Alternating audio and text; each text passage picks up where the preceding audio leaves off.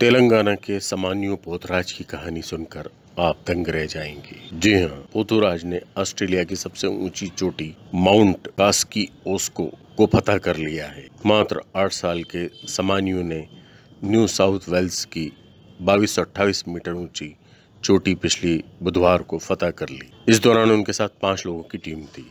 इसमें उनकी माँ, बहन, कोच और डॉक्टर भी साथ थे। पोतुराज की उस उपलब्धि पर यह साबित हो गया है कि छोटी उम्र में भी कोई भी कमाल किया जा सकता है। उनका अगला प्लान जापान के फूजी पर्वत को फतेह करने का है। इससे पहले वह तंजानिया के पाँच मीटर ऊँचे माउंट किलिम मंजारो को भी फतह कर चुके हैं। वे इस पर चढ़ने वाले दुनिया के सबसे कम उम्र के पर्वतारोही रहे। माउंट किलिंजारो अफ्रीका का सबसे ऊँचा पर्वत है।